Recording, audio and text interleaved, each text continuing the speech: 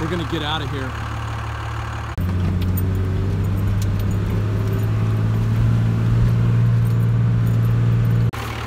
So we just flagged up there. I'm moving our trucks out of the way, Jim's and mine.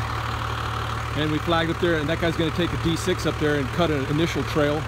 And then there's, I guess, two D8s coming up.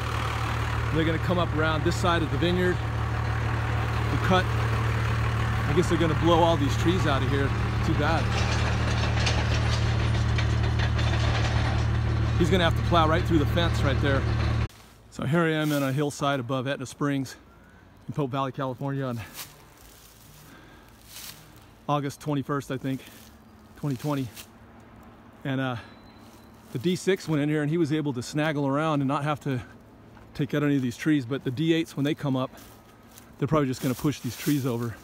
The way we manage our forests and the way that we, you know, prevent forest fires by making these rapid, not thought out fire breaks. I mean, of course, this is an emergency, but if people took care of their property and forested out, parked out the, uh, the land around their areas that they're using, their dwellings or whatever, we could make it a lot more fire safe and we wouldn't have to do these destructive procedures where they're gonna have to just push down all these trees. You know, it could be planned, it could be parked out, lifted up, thinned. They could all be thinned and then, you know, a fire would, you wouldn't have to make such a huge mess. But that's all, you know, part of planning. Forethought. We're gonna take out this oak.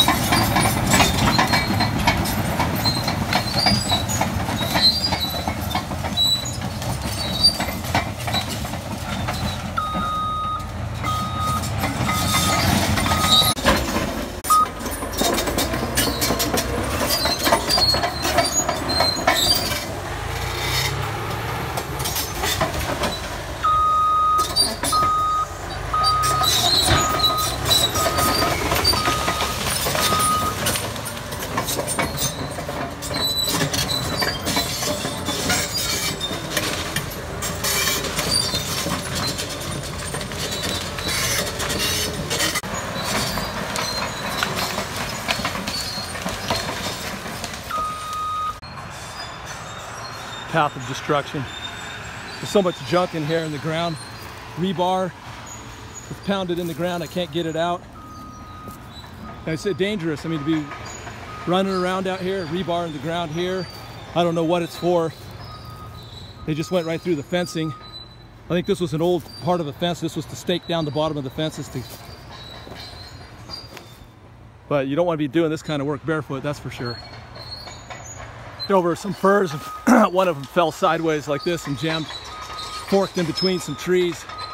So he pulled back and signaled me and I went in there and I made two cuts to open it up so he could keep going in there.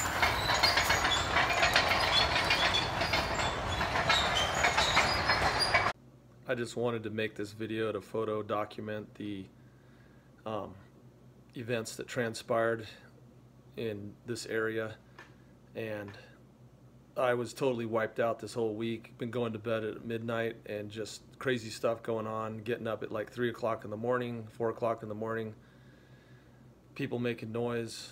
Uh, somebody came outside my house today, law enforcement of some kind at three o'clock in the morning, and ran the full uh, signals of all their uh, tones, every single one of them, multiple times.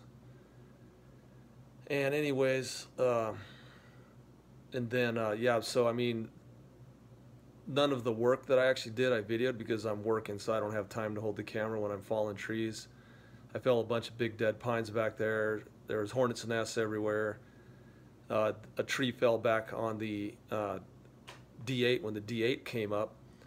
He had a massive tree fall backwards on him, and it jammed up in his in his guard, in, in a bunch of his railings, and it kind of forked itself into his blade equipment and hydraulics and everything. It was So he just stayed there. He was like signaling, honking his horn, and I came over with my little saw and jumped up on his D8 and disassembled it carefully, piece by piece, and got him freed up. And uh, so it's good to have somebody with a saw around when those guys are working. I just stay away from them and stay way back, and that's the opportunities when I when they were doing stuff and they didn't need me. I, that's when I uh, videoed because I was out of their way and they wanted me out of their way, and I only jumped in when they would signal for help, and they would you got to make sure you make eye contact with the guy in the cab at all times. he sees you and you see him when you approach the uh, equipment and that there's some signaling going on.